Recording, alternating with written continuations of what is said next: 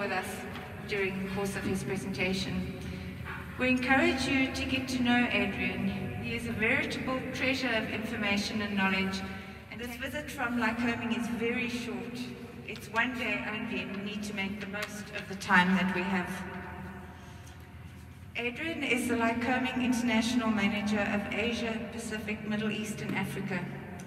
I might add that he's an ardent rugby fan and a staunch supporter of the All Blacks.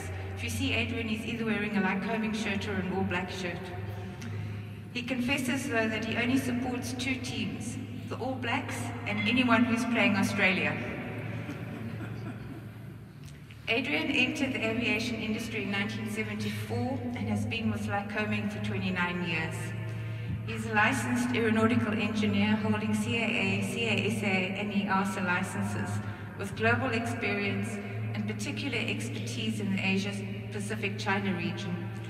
Some of the highlights of his time with Lycoming since 1985 are introducing the first Lycoming engine into China in 1986 since then, he's delivered over a thousand Lycoming engines into China. He's developed and expanded Lycoming's global reach into his region and developed OEM programs in the region with Gipps, PAC and AMF. He has successfully grown Lycoming's aftermarket business across his regions. He is now the old guy at Lycoming, to whom we all turn for advice. Adrian, master of the Lycoming universe, loyal supporter of Absolute, and has always been there for us. Thank you very much. We welcome you, Adrian, and thank you for sharing some of your knowledge with us today.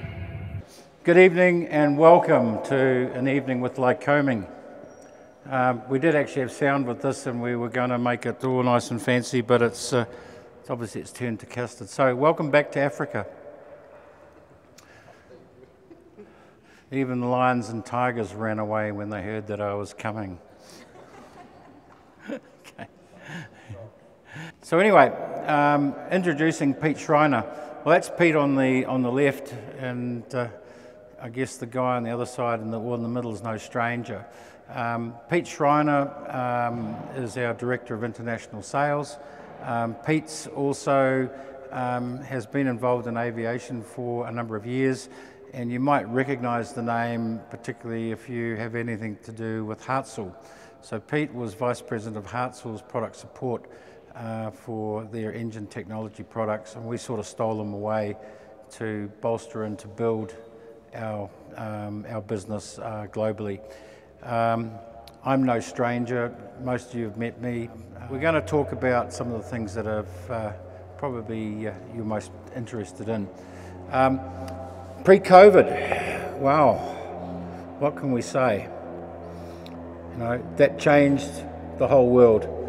COVID did change the world. It changed the world for everybody and it changed the world for Lycoming.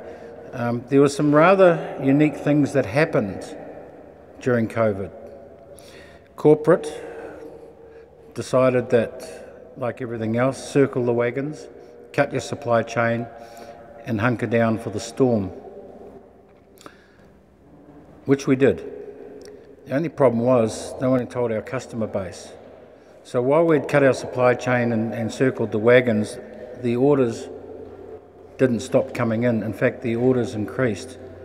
And during COVID, we actually experienced somewhere close to a 27.5% increase in business.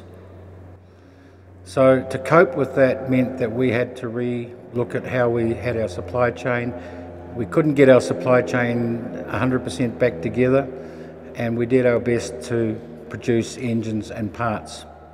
Okay. After COVID, the orders still kept coming, and we found ourselves in a situation where we were totally overwhelmed at every corner that we looked at. We had spare shortages, we had cylinder shortages, and we had engine delivery shortages. No matter what we did, the orders kept coming. And unfortunately, even today, we are still struggling to meet our customers' commitments. We are making progress. Our spares have improved remarkably in the last three to four months. We have invested millions of dollars in new equipment and we are establishing a second production manufacturing line for cylinders and some parts. So we've actually doubled our production capacity. Okay? And we are barely keeping our heads above water. Okay? But we are committed to getting that sorted. Okay? Expansion is important. Um, we have couple of challenges within Lycoming. We have an aging workforce. Okay? We have machinery that has reached end of life. So corporate have allowed us to invest very heavily in new technology and new equipment. We struggle to attract people to our industry, as do a lot of other companies.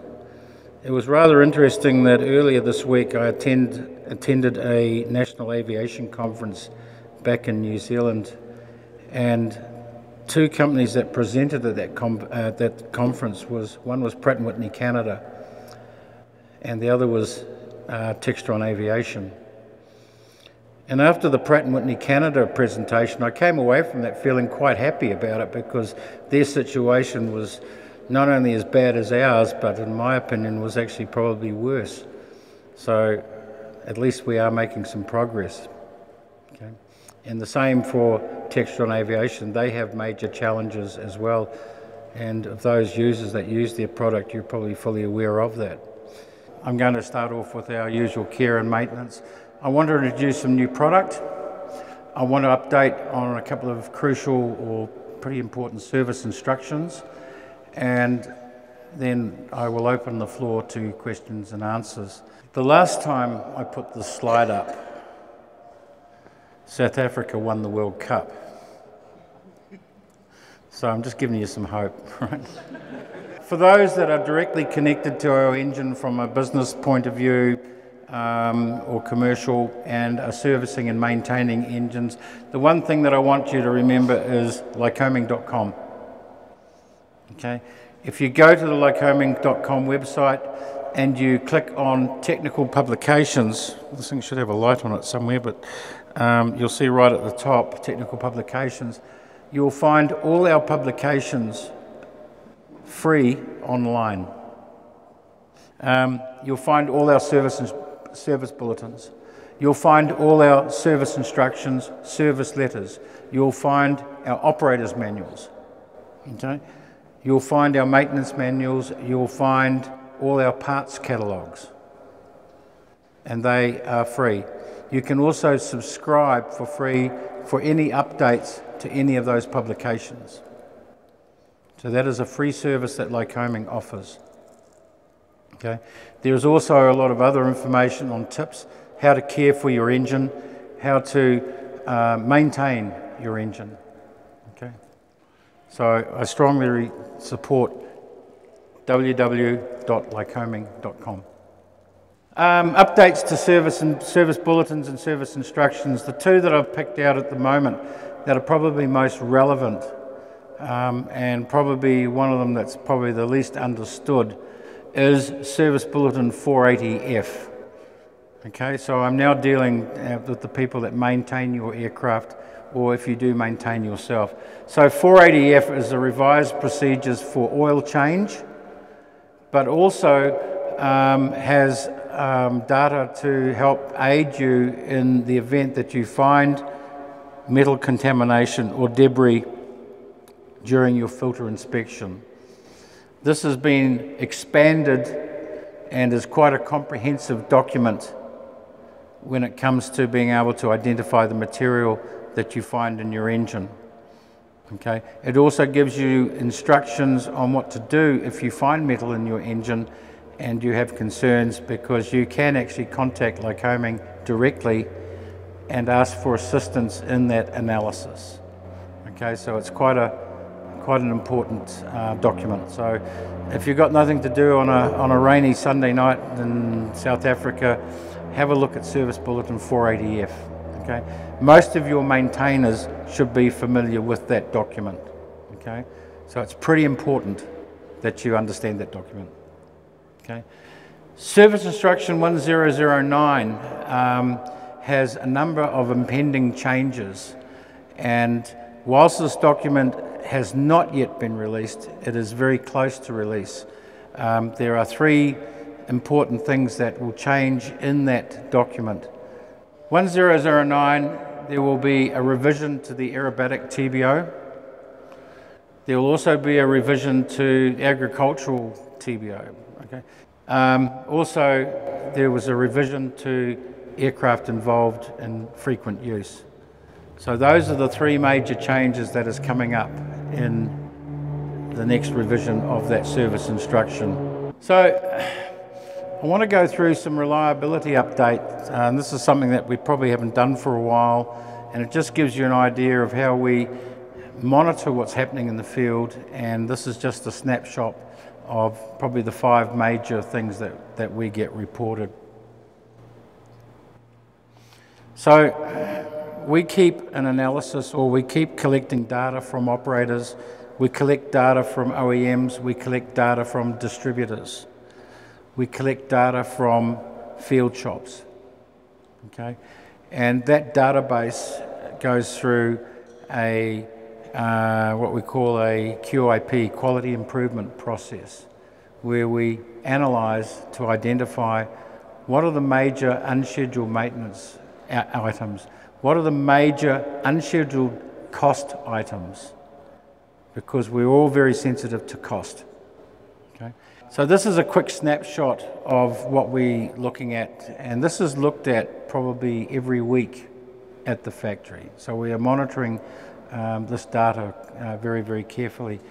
Um, some of you have experienced some of these issues, and they have been logged. Okay, so engine failures are very rare statistically. Okay, there's probably less than one in a million hours when it comes to total engine failure. Okay? So our current trends is that we have a number of oil leaks. We have continually, we still see sticky valves. We see some low compression issues. And we have, at the top of the range, continual magneto ignition issues. Okay? So we use a lot of technology, we use a lot of buzzwords. Um, you probably all have heard about Six Sigma and probably sick of Six Sigma for those that, uh, that deal with it. But we still use those tools in our analysis. Okay, so when we get a Pareto chart, we look at what is having the most impact and what is having the most cost impact on your operations. Okay. So we look at these and we say, right, crankshaft seals, what's happening with that trend? It's trending down. We've also identified some internal issues in the factory and made corrections. And I've had the pleasure of working with a number of people here in South Africa to deal with a particular oil leak case. We've also made some internal process changes. So we are, we are deliberately looking at these to work out how we can make the engine better, how we can reduce cost, how we can reduce the maintenance cost. Sticky valves, um, for those that operate helicopters, this has always been an issue. It's also very strongly related to the way the helicopter is operated and cooled down after flight. Okay, a lot of private owners with, with private helicopters need some lessons in how to cool down their engines, which will prevent sticking valves. Low compression has uh, trended down. We had an issue where we had valve seats not aligning. We had valves that weren't weren't quite sealing the way that they were supposed to. We also saw some distortion, um, and we have worked to improve those issues. If you're a helicopter operator using a Robinson R22 and R44, we have introduced a new rotator intake valve to prevent um, erosion or burning of the intake valve. The one that sort of sticks out at the moment is that magneto maintenance and magneto unscheduled maintenance is still a major reason for reduced reliability of our engines. It's also probably the single largest cost to an operator is due to magneto uh, unreliability. Um, seal leaks, um, we found an issue with the silk thread that we were using. Silk thread is actually a vegetable, it's made by moths. Okay, and we have updated our um, procedures. In the field, we use Loctite 515, which most of you that are in the engine business will be familiar with. So, uh, front seals, that has trended down. Okay, and we have introduced in the latest edition of 1324C a Permatex um, adhesive that we have tested and have had really good results with. So if you get a chance, look at the Permatex Optimum, Optimax um, 27037. It's globally available. I've checked, it's available here in Johannesburg. Okay? So, um, yeah, so that's, that's available uh, global. And one of the things I think we had, and I've noticed in the 30 odd years I've been with Lycoming, that a lot of the products that we, we list in our bulletins, and Tony will agree, um, you can get them in the US but nowhere else in the world. Okay, 98% of them are hazmat, so by the time you buy a $16.39 tube of sealant and you ship it all the way to South Africa, it's probably cost you $150. So we are moving to a point where we want to use sealants that are globally and readily available all over the world. Thing with sticky valves, the emphasis is on engine cool down. If you come in with a hot engine um, and you shut it down straight away and you've got CHTs above 300 degrees, the oil will boil between the guide and the valve and it will coke up and that coke will reduce the clearance to a point where the valve actually seizes in the guide. More prevalent on helicopter operations, particularly um, Robinson uh, 22s, 44s, and those that have got Schweizer 300s. So the emphasis on that is to ensure that you have a engine cool down regime. The difference with a helicopter, it comes in, it lands at nearly 98% power, so it's red hot. Okay? And most of the issues that we find on helicopters is because there's been insufficient cool down after landing and shutdown. Service instruction 1280D also advises of a change and the installation of the rotator intake valve on the parallel valve cylinder. Okay, we don't seem to have as many issues on the, on the big AE1A5 angle valve engine, but we do have issues on the R44 with the parallel, parallel valve F1B5 engine. So far, this has actually proved to be pretty good, and since we've started to introduce that, we have trended down on the number of incidents of, of intake valve burning. So it's working. Low compression, as I said, we had some valve seating issues at the factory. We have now made corrections to that. We also found that the outsourced cylinders that we were being supplied with, we seem to have a higher rate of low compression incidents because of valve to guide or seat to guide misalignment, and those in the engine business have probably seen those as well. Okay. Cylinder manufacture is now totally in-house at Lycoming. And with that being in-house means that we have a stronger and a more comprehensive quality control system in place in the manufacture of a cylinder. In the manufacture of a cylinder, just have a guess at how many operations there are to produce a cylinder. Anybody want to have a guess? How many operations, how many individual machining processes is there required to manufacture a cylinder? 250.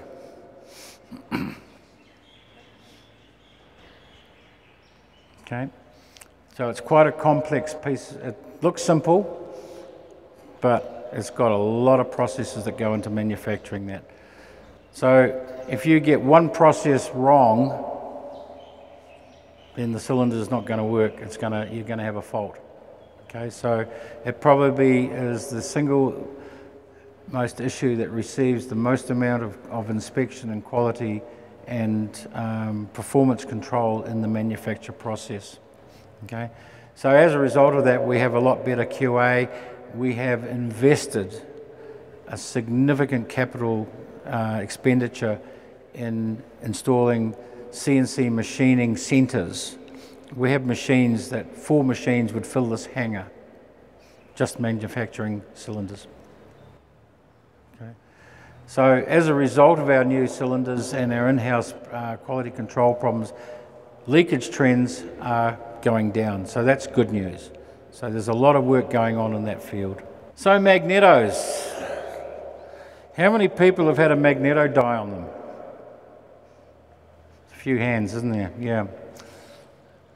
How many people are sick of having to send their mags in for a 500 hour inspection? How many people have had a coronary when they got the bill after that 500 hour inspection?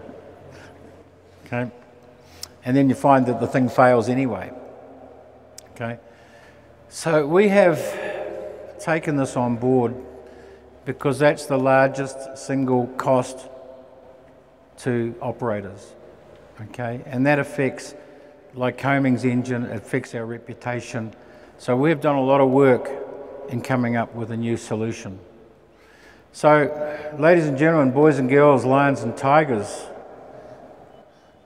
I'm very happy to present our new electronic ignition system. This is a totally contained, self, well, it's not actually self exciting, but solid state ignition system.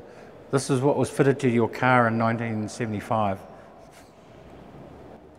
We're catching up. yeah, at least it works. Yes, you did right, Barry. It works.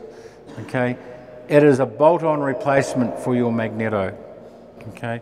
It comes with a lot of features and I'll go through those features. Um, and you know what the good news is? There's no 500 hour inspections anymore. Everybody's thinking and looking at this and thinking, well, how much is this going to cost? What I can tell you is that this is priced at the same price of what you would pay for a new Slick Champion Magneto. So we've maintained the same price break.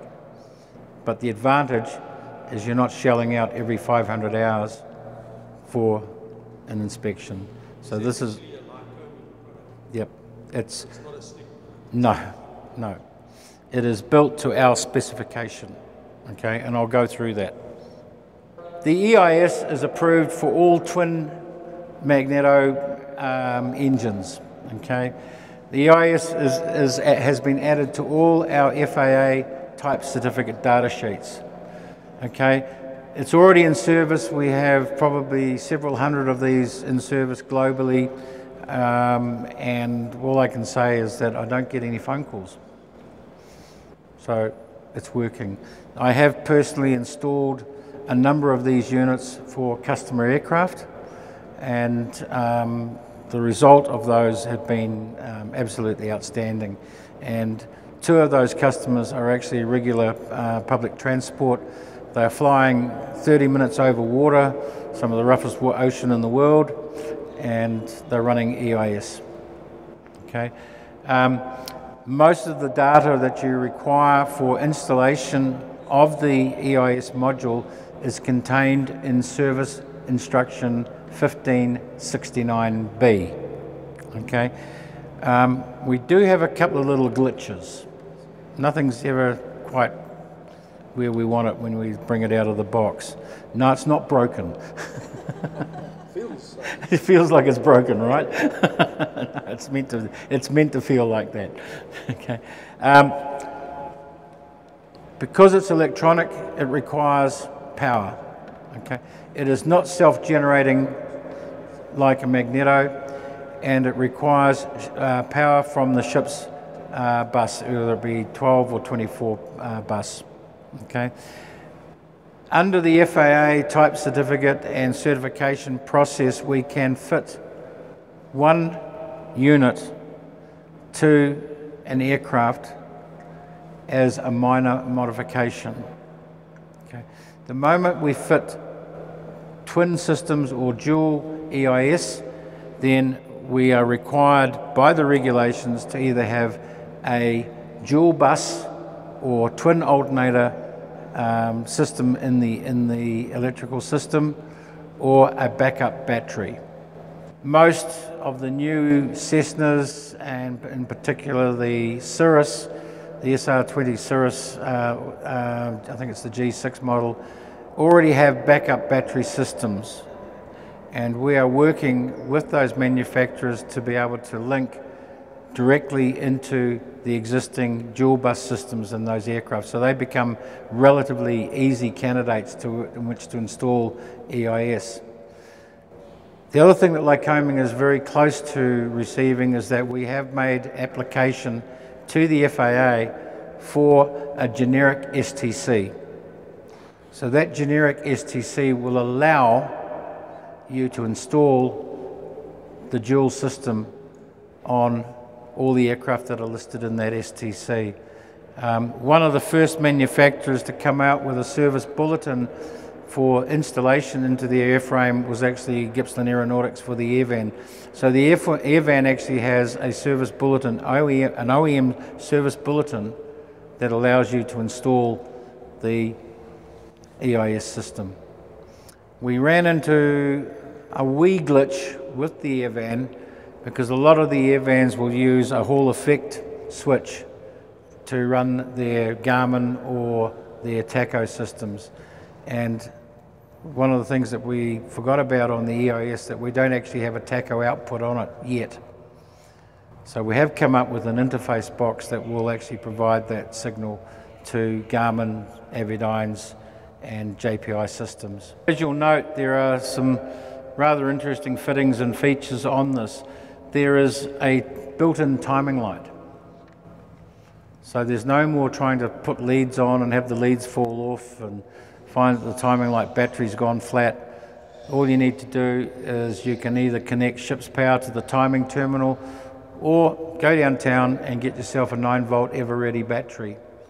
This unit will run on 9 volts. If we could get a TSO for a 9 volt battery, then life would be really simple. The unit also has the availability or the ability to have variable timing. Currently the variable timing is switched off it's approved, but we need to do some more work in the mapping of the engine performance um, spreadsheet or, or 3D model that is embedded into the unit. If you turn the unit over on the drive side, you'll see a little silver plug. Okay, and under that plug, which is sealed, is where we load all the secrets to this unit. So we're actually able to update the firmware at a later date if we, when we switch on the variable timing. The unit has the standard P-lead terminal that bolts straight into your um, electrical system. Um, the timing light, when you're timing this to the engine, and for the engineers and technicians, that you time this at top dead center. Once you've timed it at top dead center and you've connected the power to the system, it is there for the life of the engine till the engine reaches TBO. There is no intermediate maintenance, there is no 100 hour inspection required, and there certainly is no 500 hour inspection required. The unit fits the existing Champion Slick harness cup. So you don't have to change your harness, the harness will bolt straight into the cup. I'm pretty excited about it, and, and I tell you what, um, I put a couple of units on an engine just recently, and, and I think the whole job took me less than half an hour. Basically, what we're trying to do is eliminate ignition system maintenance. That's the bottom line. We want to eliminate that 500 hour inspection. We want to eliminate the unscheduled maintenance costs. And all of you probably at some stage outside of the 500 hour life have had a magneto fall over. You're either stranded in the middle of nowhere Um, and Australia and South Africa share a very similar geography. And when you're 1500 miles from nowhere and you get a magneto go down and you're stuck in the middle of nowhere, um, yeah, what do you do? So we're trying to eliminate that from the thing. So we've ended up with a unit that's basically solid state. There's no moving parts. And we're pretty happy with it so far. We've come a long way. We looked at experimental units. There's some names there that you'll be familiar with, with Lightspeed, EMAG, PMAG, Electro Air. We went and looked at all those units okay? And we looked at what the advantages were and the pros and cons of the different systems. And then eventually we settled on a system that was basically met our basic design standards. We then took that unit and took it to the next level. The unit is based on a design from a company called Surefly. Okay, and if you go online, you can buy a Surefly system that looks almost identical to the Lycoming EIS system. The difference is, is that in our design, we went through and we tested it and we made a number of changes to the, the structure and also the resilience of the unit. We beefed up the bearings, we beefed up the drive shaft, and that drive shaft actually all it does is it triggers a Hall effect switch internally. Okay, and that's what you'll notice that when you actually turn that thing around, there's no resistance because there's nothing else on it except a couple of bearings. We then took the, the unit and we tested it for a couple of thousand hours to make sure that it was going to be resilient and meet our requirement to be able to fit it and run to TBO. The weight and balance is the same, so there's no change. The unit runs from 9 to 32 volts. We've basically got one, one unit will fit all voltage systems. In standby mode, it draws 0.005 milliamps. I mean, it's, it's ridiculous. And at rated power, it draws 250 milliamps. I mean, that's nothing. I mean, that's it really is nothing. Yeah. We use a 10 amp fuse. I don't know why we actually put a 10 amp fuse when it's only drawing 250 milliamps, but that's the way it is. Yep. And it uses the standard P connection on the engine. As far as its size is concerned, it's pretty much identical to the Magneto that it's replacing.